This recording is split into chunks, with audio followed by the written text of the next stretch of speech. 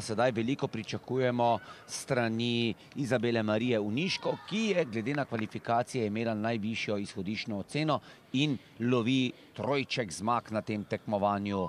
Dve že ima, sedaj pa še pika na i na parterju.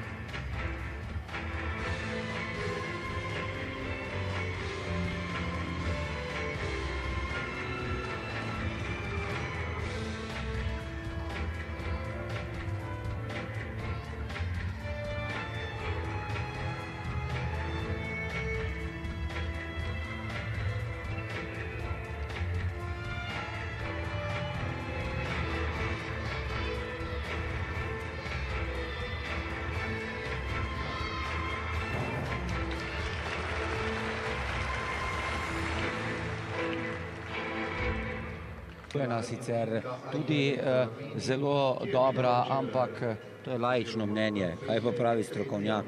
No, začetek je bil, to smo ravno kar videli, dvojni skrčeni salto nazaj z enim obratom, to je druga diagonala, kjer je izvedla kar dva akrobatska skoka, sicer prvi je bil iztegnjeni salto nazaj z enim in pol obratom in potem še dvojni skrčeni salto nazaj.